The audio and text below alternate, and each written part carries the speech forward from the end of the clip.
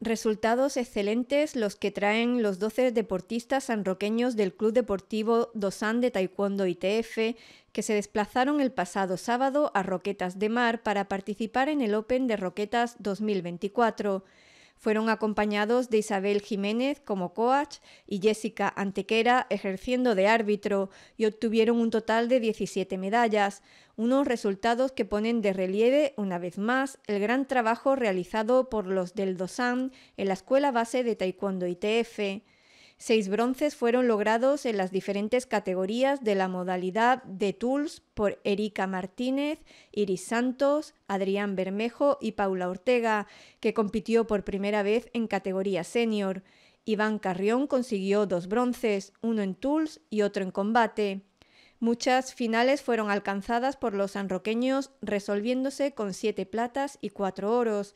Las platas fueron para los tools de Valeria Sánchez, Sara Gavira y dos más para Paula Ortega en categoría junior y open.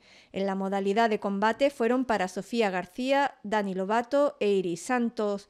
Por último, los cuatro oros que vinieron a San Roque fueron gracias a Sara Gavira y Sofía García en combate preestablecido, Sofía García y Dani Lobato en tools individual y de nuevo Sara Gavira en combate.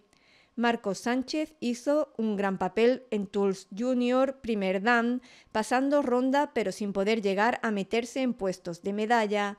Al igual, Geray Casas en combate, que a pesar de ganar el primer asalto, se le escapó el resultado final en los últimos instantes en un combate muy ajustado y duro.